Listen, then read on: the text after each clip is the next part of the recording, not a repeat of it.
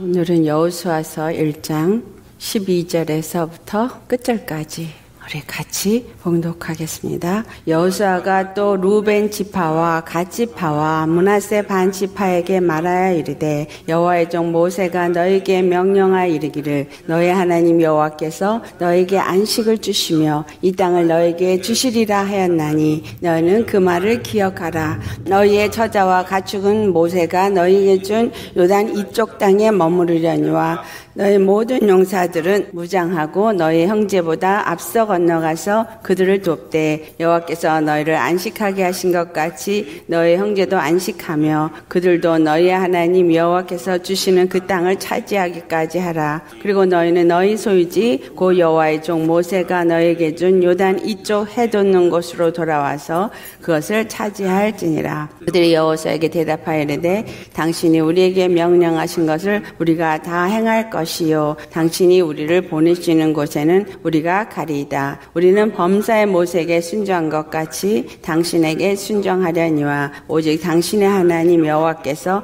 모세와 함께 계시던 것 같이 당신과 함께 계시기를 원하나이다. 누구든지 당신의 명령을 거역하면 당신의 말씀을 순종하지 아니하는 자는 죽임을 당하리니 오직 강하고 담대하소서. 아멘. 오늘 본문 말씀은 여호수아가 루벤 지파, 가 지파, 문하세 지파에게 말한 것을 기록하고 있습니다. 루벤 지파, 가 지파, 문하세 지파에게 말하는 것은 무엇을 기억시키느냐 하면 모세가 명령한 말을 기억시킵니다. 그 13절 말씀이 어, 너희의 하나님 여호께서 너에게 안식을 주시며 이 땅을 너에게 주시리라 하였나니 너희는 그 말을 기억하라라고 말씀합니다. 요단강 동편에 있는 땅이 루벤 지파, 갓 지파, 문하세 반지파에게 허락이 되어집니다. 이것을 어, 허락한 이유가 무엇이냐? 그것은 바로 그들이 주님 안에서 어떠한 자였기 때문에 이것을 얻었느냐라는 것을 우리가 살펴보겠습니다. 모세를 통해서 명령하신 것을 다시 여호수아가 기억하게 하는 말은 이 땅에서 여기서 안식을 너희가 얻을 수 있는 기업을 얻었지만 그러나 앞서 건너가서 다른 지파 사람들이 안식을 할 때까지 건너가야만 될 것을 얘기합니다. 이들이 동편에서 얻어진 땅을 우리 신명기 33장 21절에서 이미 살펴봤듯이 가시 그 땅을 얻은 것에 대해서 모세가 무엇이라고 축복을 했느냐 하면 그가 자기를 위하여 먼저 기업을 택하였다. 라고 말씀하면서 그 땅이 곧 입법자의 분깃으로 준비된 것이로다 라고 말씀을 합니다. 요단강 동편에 있는 땅을 루벤이나 가시나 문하세들이 그 땅을 먼저 달라고 얘기하면서 그들이 입법자의 분깃 입법자가 누구죠? 여호와 하나님. 그 여호와 하나님의 분깃을 그들이 먼저 얻은 자가 되었다 라는 것입니다. 그들이 먼저 그것을 얻게 되어준 것이 먼저 그것을 취한 것이다 라고 볼 수 있죠. 그렇다면 먼저 동편의 땅을 그들이 취한 것은 우리가 기록 되어진 것을 볼 때에 그들에게 합당하기 때문에 그들이 목축업을 하기에 합당하기 때문에 그 땅을 달라고 요구한 것이지만 우리가 신약의 어, 믿음과 이거를 비유해서 볼 때는 무엇을 의미한다 그랬어요. 가나안 땅의 정복을 이루어가는 것은 하나님의 형상을 이루어가는 것을 의미합니다. 가나안 칠족을 몰아내고 이스라엘이라는 나라를 세우게 되어지고 이스라엘의 열두 지파에게 그 땅이 분배되어지도록 하는 것은 하나님의 나라로 세워지는 것이고 그 기업을 그들이 각각 얻는 것을 이야기하기도 하지만 다른 것으로는 우리 영혼이 하나님의 형상을 닮아서 온전히 하나님의 나라 그의 성전이 되어지는 것을 의미하기도 한다. 그렇다면 요단강 동편의 땅을 가진 루벤 지파, 갓 지파 지파, 문하세 지파가 먼저 얻게 된 것은 바로 육체의 그들이 하나님으로부터 분깃을 얻게 되어진 것을 의미한다라는 거죠. 다시 말해서 육체의 기업을 얻는 축복을 그들이 얻은 것을 말하고 있습니다. 그렇지만 이 육체의 축복을 이 땅에서 얻는 그것은 루벤 지파, 갓 지파, 문하세 지파에게 분명하게 말씀하듯이 너희들이 요단강 서편을 건너가서 너희의 형제들이 땅을 다 얻고 안식할 때에 이 땅을 그대로 얻은 안식을 누릴 수 있게 되어진다라는 의미는 우리가 육체의 기업을 얻고 축복을 얻었다 할지라도 모든 것이 내게 온전하기 위해서는 내 영혼이 주님과 온전한 안식을 누릴 때에 이 육체의 축복도 온전히 내 것이 되어진다라는 말씀을 하고 있는 것입니다. 중요한 것이 왜 이들에게 루벤 지파, 가지파, 문하세 지파에게 이스라엘 다른 지파보다 먼저 앞서가서 전쟁을 치르도록 하였느냐라는 이야기예요. 다시 말해서 우리 주 예수 그리스도 안에서 온전히 주님의 기업을 얻고 복을 얻는 사람들은 어떤 사람이냐? 어떤 사람이에요? 그것은 참으로 주 안에서 영적으로 무장된 자를 말하고 있습니다. 신명기 3장 18절의 말씀을 보면 너희의 하나님 여호와께서 이 땅을 너에게 주어 기업이 되게 하셨은즉 너희의 군인들은 무장하고 너희 형제 이스라엘 자손의 선봉에 대어 나아가라 말합니다. 그렇다면 족속 중에서 군인이 될 수 있는 자와 군인이 될 수 없는 자가 있다는 얘기죠. 군인이 될 수 있는 자는 20세 이상의 젊은 청년이 되어진 자를 말하고 있습니다. 그렇지 않은 자는 20세 미만의 아직 어린 자를 말하고 있죠. 그렇다면 영적 전쟁을 치르면서 하나님의 성전이 되어지고 하나님의 그 온전한 형상을 회복하는 자가 되어지기 위해서는 영적 성장을 이루어서 20세 이상의 장성한 분량의 충만한 데까지 이르는 그리스도인이 되어야 할 것을 말씀하고 있습니다. 그와 같이 영적으로 말씀을 먹고 자라나서 하나님의 말씀에 순종하면서 나아갈 때에 가나안 땅을 온전히 하나님의 것으로 다 얻게 하는 일을 할 수 있다라는 걸 말하고 있고 그러한 자들은 반드시 먼저 앞서가야 될 것을 또한 말하고 있습니다. 그들이 먼저 앞서가야 되는 건 하나님을 만난 자요. 하나님을 만나면서 바로 육체의 기업을 얻게 되어지고 하나님의 약속한 땅을 얻게 되어진다라는 것을 경험한 자입니다. 15절 말씀을 보면 형제가 평안히 거할 때 돌아와서 차지할지니라 라는 말을 해요. 그렇다면 이것은 무엇을 말하고 있느냐? 이것은 곧 하나님의 일을 다 마칠 때 너희가 돌아와서 온전히 이것을 얻을 수 있다. 아까 말씀드렸듯이 우리의 영혼이 온전히 주님 안에서 교통함을 얻는 그의 성전, 그의 나라가 되어질 때에 육체도 우리가 평강을 얻고 육체의 복도 이 땅 가운데 얻을 수 있음을 말하고 있는 이것. 하나님께서 그 모든 일을 계획하시고 뜻하신 대로 그 약속을 하셨습니다. 그런데 그 약속을 이제 이루고자 할 때에 그들에게 그 일을 함께 동참하라고 한 이것 은 뭐냐면 하나님은 그 일을 마치실 때까지 먼저 용사가 되어진 자들에게 그 일을 동역하게 하신다라는 이야기를 하고 있습니다. 자, 하나님의 뜻이 무엇인가요? 요한복음 6장 40절을 보니까 아버지의 뜻은 아들을 보고 믿는 자마다 영생을 얻는 이것이니라고 말씀하셨어요. 아들을 보고 믿는 자마다 영생을 얻게 하시려는 것이 곧 하나님의 나라가 세워지도록 하는 거죠. 하나님이 택하시고 부르시고 너는 내 것이라고 한 그의 백성들, 그의 자녀들이 다 예수 그리스도 안에서 하나님의 한 통치권 안에 이르게 하시려는 것이 하나님의 뜻이다. 그래서 그 한 통치권 안에 이르게 하기 위해서 우리 주 예수 그리스도를 보내셨고 예수 그리스도의 십자가의 죽으심과 부활하심을 믿는 모든 자들 유대인이나 이방이나 차별이 없이 그 십자가를 통해서만 한 통치권 안에서 예수 그리스도가 교회의 머리가 되어지고 우리 믿는 모든 자들은 그의 교회가 되어지는 것이 하나님의 계획이었다. 그런데 그 계획이 바로 아들 예수 그리스도를 믿는 자마다 영생을 얻게 하는 것이다. 이 영생은 가나안 땅을 정복하고 하나님의 나라가 되어지는 것이요. 또한 우리 심령이 하나님의 형상을 회복해서 하나님의 성전, 우리 안에 하나님의 천국이 이루어지는 것을 또한 의미하기도 한다라는 겁니다. 그런데 예수님이 이 일을 위해서 이 땅에 오셨어요. 이 일을 위해서 오셨지만 예수님이 하신 말씀이 요한복음 5장 30절에 말씀하시기를 나는 스스로 아무것도 할 수 없다라는 이야기를 했습니다.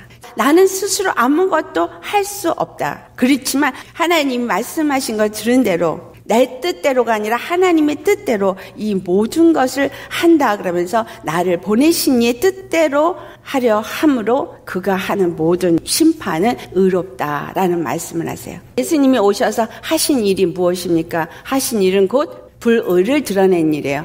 마귀의 일을 멸하러 오셨다고 요한일서 3장 8절에 말씀하신 것처럼 마귀의 일을 멸하는 것이 예수님이 하신 일이고 그러므로 인해서 마귀의 일을 드러낸 것이기 때문에 내 의가 내가 하는 심판이 의롭다라고 하는 것은 아버지의 뜻, 바로 그 어두움의 권세를 드러내고 하나님의 의가 되시는 것을 선악간에 판단하는 이 심판을 십자가에서 이루시는 분이시기 때문에 그가 하는 모든 일은 의롭다라고 말씀하신 것입니다. 바로 그 어둠을 드러낸다는 이야기는 우리 가운데 있는 죄를 드러내는 거예요.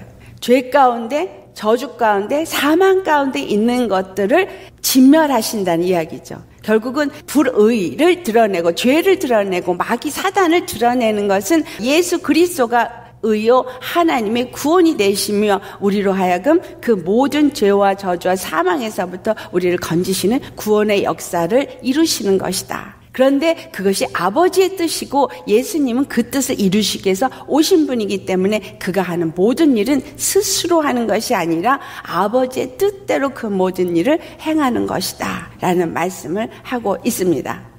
그렇다면 오늘 우리가 예수 믿는 사람들, 예수 그리스도 안에서 이스라엘 족속이 되어졌다고 하는 우리들에게도 이 루벤 갓지파 문하세 지파하고 동일하게 요구되어지는 것이 있다라는 거예요. 그것은 바로 무엇이냐면 너희 형제들이 안식할 때까지 너희를 먼저 무장을 하고 앞에 나가서 선봉에 쓸 것이니라. 먼저 예수를 믿은 자, 먼저 하나님의 복이 무엇인지를 알고 그 기업을 얻은 자가 되어진 자는 주님 안에서 선봉에 쓰는 장수가 되어야 한다라는 이야기를 하고 있는 것입니다. 예수님이 십자가를 지셨어요. 이것은 먼저 지신 거죠. 그렇죠? 예수님이 먼저 십자가를 지시고 그 십자가에서 선봉이 되어 지신 것을 아는 자라는 이야기예요. 예수 그리스도의 십자가의 은혜가 무엇인지 그 사랑이 무엇인지를 아는 자가 아니면 먼저 선봉에 설 수 없다라는 거죠.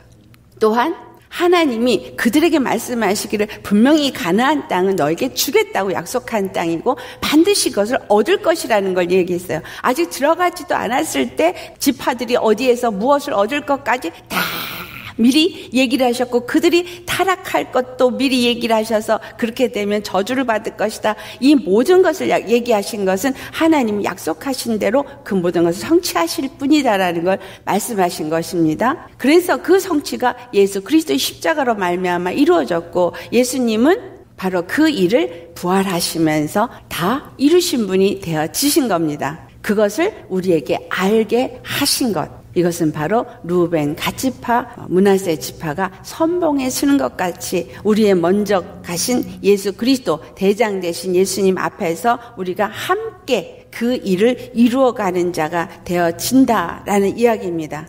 아멘. 예수님이 나를 보내신 이의 뜻대로 행하는 것이고 나는 아버지 뜻대로 이 모든 일을 한다고 한 것처럼 이 루벤 지파, 가치파, 문하세 지파가 말씀하시는 대로 순종하리다. 라고 말씀합니다. 16절 보면 보내시는 곳에 가겠다라고 그 말 한 대로 순종할 것을 말합니다. 자, 우리도 예수 그리스도를 믿는 자라면 예수님이 마태복음 10장 20절에 한 말씀이 동일하게 우리에게도 이루어집니다. 마태복음 10장 20절에 예수님이 뭐라고 말씀하시냐면 말하는 이는 너희가 아니라 너희 속에서 말씀하시는 이 곧 너의 아버지의 성령이시니라. 예수 그리스도 안에서 말하게 하신 이도 아버지의 성령이시고 또한 제자들 가운데서 제자를 보내면서 하시는 말씀이 너희 가운데서 말하시는 이는 너희 아버지의 성령이라고 말씀하셨어요. 하나님은 그 뜻을 이루기 위해서 성령으로 우리 안에서 말씀하신다라는 걸 이야기했죠. 그래서 우리에게 생성령을 보내주셨습니다. 빌보서 2장 13절에 있는 말씀 사도 바울이 너희 안에 행하시는 이는 하나님이시니 너희 안에 기쁘신 뜻대로 소원을 두고 행하게 하시느니라. 우리 안에 소원을 두고 행하시는 이가 하나님이시고 그리고 우리 안에서 말하시는 이도 하나님이고 우리 안에서 이 가나안 땅의 정복을 이루시는 이도 하나님이시라는 거예요. 그러니까 내가 싸우는 싸움은 내가 싸우는 것이 아니라 누가 싸우는 것인 거예요? 내 안에 계신 성령이 그 모든 것을 싸우신다라는 겁니다. 우리 안에 있는 가나안 족속을 하나하나 쟁취하기 위해서 말씀을 받으면 받을수록 말씀 앞에 비추어져서 하나도 남김없이 다 드러나서 내 안에 있는 죄가 드러난다 할지라도 이 싸움을 이기고 싸우게 하시는 이는 성령이시기 때문에 우리는 두려워하고 염려할 것이 아무것도 없다라는 이야기입니다. 그래서 예수님이 너희는 가서 모든 민족으로 제자를 삼아 아버지와 아들과 성령의 이름으로 세례를 주고 내가 너희에게 분반 모든 것을 가르쳐 지키게 하라. 하시면서 볼지어다 내가 세상 끝날까지 너희와 항상 함께 있으리라고 말씀하십니다. 이 말씀은 우리 너무나 잘 알고 있는 지상 대 위임령 마태복음 28장 19절 20절 말씀이죠. 우리 안에서 우리로 하여금 가라 라고 말한 거 요단강 건너서 가나안 땅을 정복해라 한 이것 전에 제가 신명기 하면서 이 이야기를 했습니다. 이것은 두 가지를 말하고 있다는 거. 하나는 내 심령의 정복이고 두 번째는 이 세상의 정복이다. 곧 하나님이 원하시는 모든 민족을 구원하시라는 그 뜻을 이루기 위해서 하시는 일이다. 그래서 이것을 먼저 깨닫게 한 우리가 먼저 가라 말씀하신 분이 내가 너에게 분부한 것. 자, 그래서 무엇을 분부했는지를 아는 자가 바로 이 루벤 갓 문하세 지파죠. 너에게 먼저 그 분부한 것을 받고 그리고.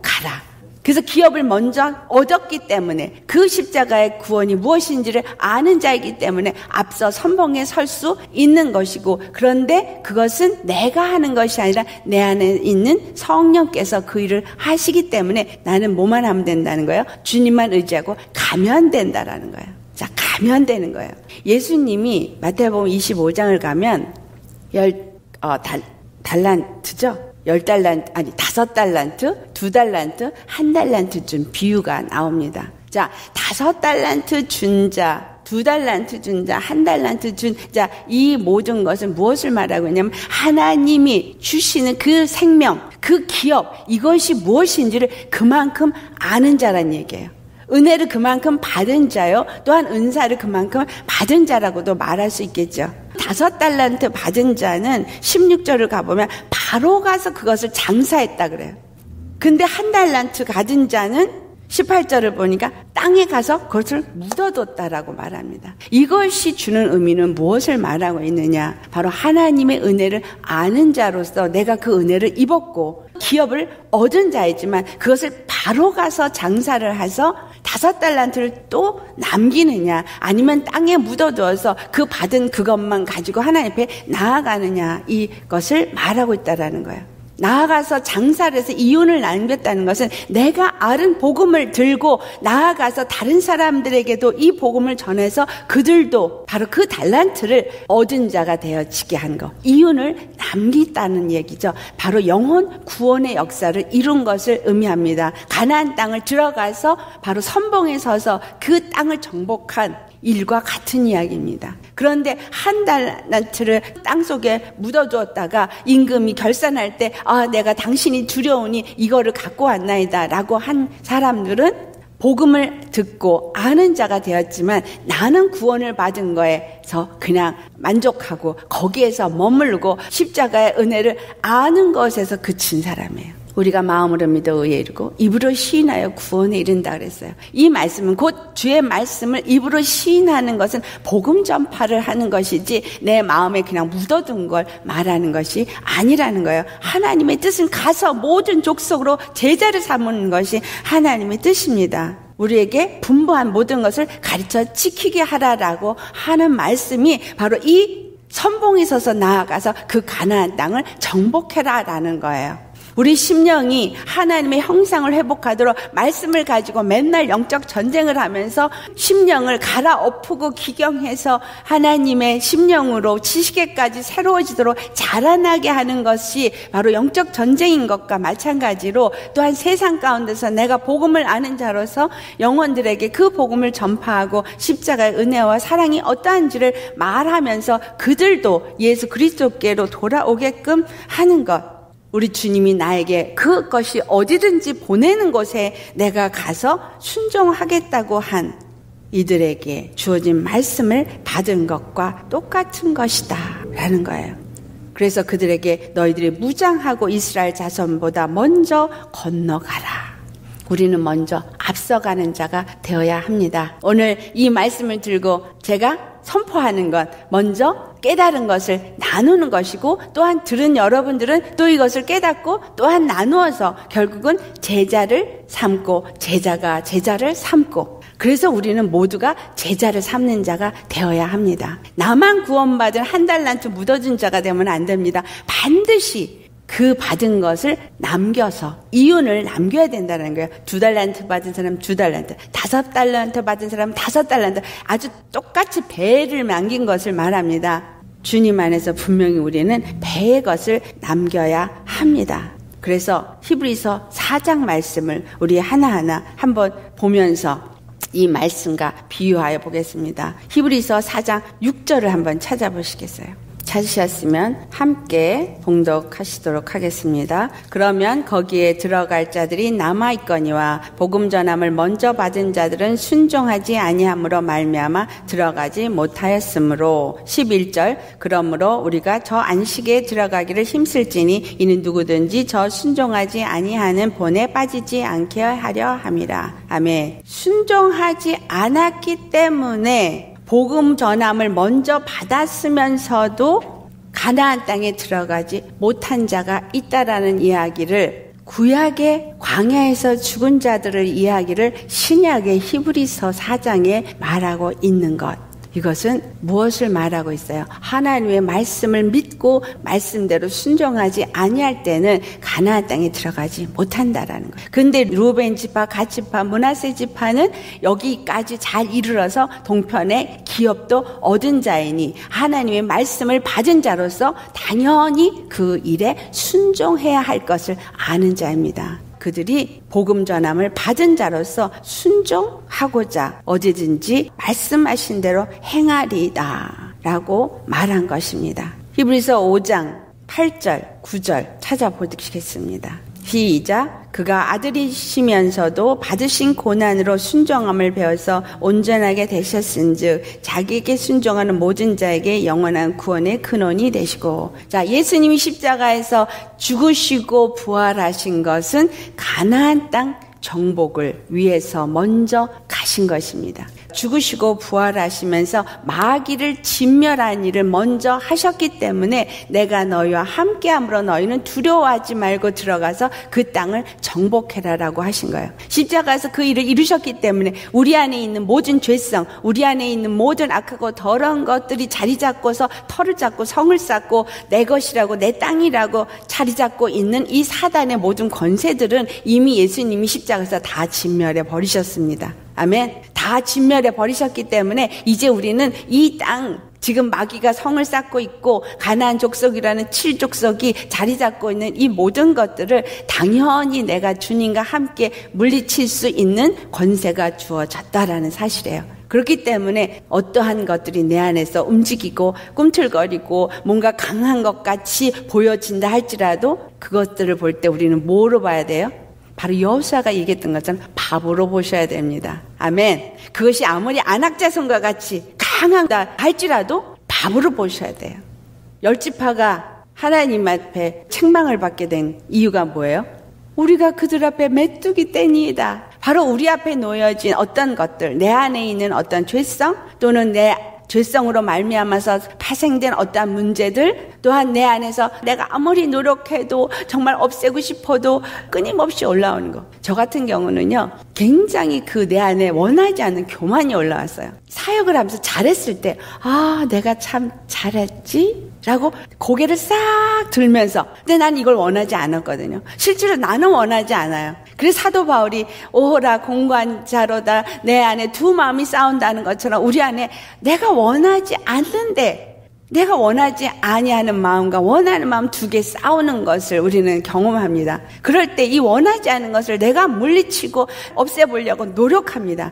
아니요, 우리는 할 수 없어요. 그것을 없애려고 노력하면 노력할수록 걔는 또 올라오고 또 올라오고 또 올라옵니다. 제 경험은 그걸 내가 할 수 없으니까 하나님 앞에 간절히 구했어요. 하나님, 나는 이거를 할 수가 없습니다. 도저히 이 교만, 나는 원하지 않은 이 교만이 계속 올라오는데 나는 이거를 어찌 할 수가 없습니다라고 간절히 구하고 구했어요.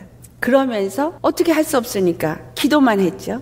그렇다면 주님이 기도했으니까 기도 응답을 해가지고 한순간에 그게 없어졌냐. 그게 아니라 그 다음에 내게 다가오는 일은 어떤 일들이, 사건들이 일어나는데 그 사건들을 하나님이 그대로 믿음으로 순종하며 나아가기를 원하시는 일이 일어나더라는 거예요. 하나님이 내 앞에 주신 일들, 그 모든 일은 뭐냐면 내 의를 내려놓는 일이었어요. 내 의를 내려놓고 나한테 불이익을 주는 그 사람들 앞에 그대로 용납하는 거. 왜냐하면 하나님이 나에게 그들을 사랑하라고 하셨어요. 너는 한마디도 거기에 대해서 변명도 대적도 하지 말아라. 원수 갚는 것을 내게 맡겨라는 말씀을 딱 주셨어요.